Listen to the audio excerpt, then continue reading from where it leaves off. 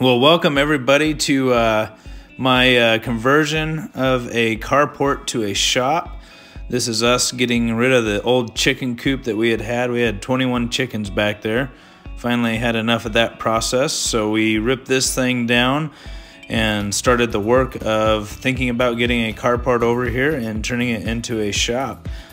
A lot of preparation as we uh, got involved. My son Carter and Drew and a lot of people helped out. I even had a, one of my old instructors from school come out and help me out.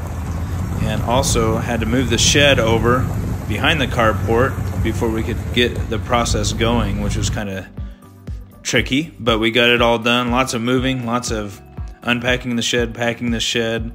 Prepared our area for concrete to uh, put the carport on that. That was kind of fun, as you guys can watch here.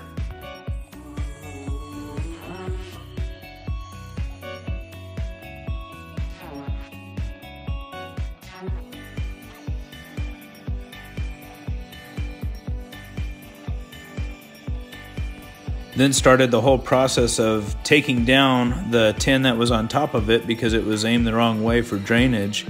Took it all apart and then started reassembling everything so we could put the tin uh, up there. Had to add some wood to it so we could have something to go on. And then Luke, the welder with Custom Iron Design, uh, came by. I did some trade work for him during the summer for uh, weekly mowing and trimming. So he came by and hooked a hooked a brother up. That was definitely a plus. And these doors uh, are very solid, and uh, they did a very great job. So as you guys can tell, a lot of work went into that. Also, just getting the tin up on top of the house was uh, quite the undertaking. We had to uh, line out the boards specifically to uh, get the bolt pattern because they already had existing holes in them outside of just ordering new tin. So we put everything up so we could uh, screw it right into the wood so we wouldn't have any seams that would uh, have any water leaks. So this is quite the process as well. Lots and lots of trips to Home Depot, getting wood, getting screws and all kinds of stuff. This is uh, after they had got all the doors put on and hung. And then we started adding uh, some plywood to secure the structure.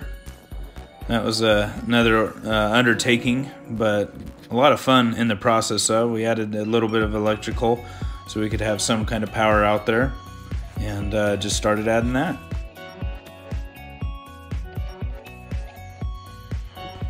This is when uh, the structure really started taking some shape and some form. I was getting excited and starting to just kind of envision what this was going to be about lots of fun. Um, then we uh, did this back wall, did a little time lapse on that. That was kind of fun, but hooking that up, and I had to have a center beam in there, which kind of messed us up on the two foot centers, but uh, had to put that center beam in there so I could put my elk in there.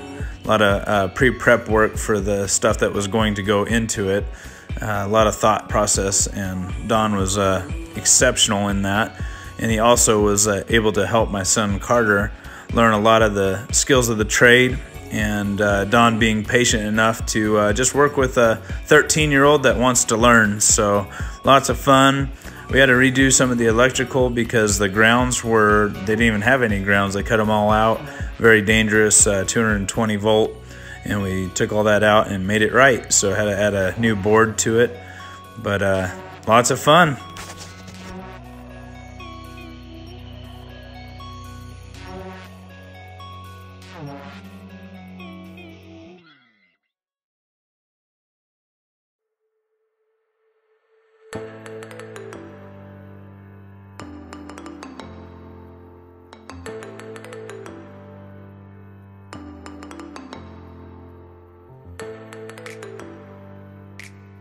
So in these pictures, you can see the shop really taking form.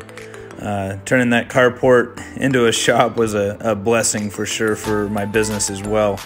But uh, a lot of learning in this, a lot of fun. Uh, definitely uh, beyond what I would imagine, and uh, very, very blessed to be able to have this so I can work on all the equipment out there. Carter was able to learn a lot as a young man on the industry and how to cut, how to uh, properly do things. So anyways, it's an ongoing process of constantly doing things and upgrading things. But if you guys like, please uh, hit the like, smash that like button, subscribe, and uh, please share. Thank you guys so much. God bless.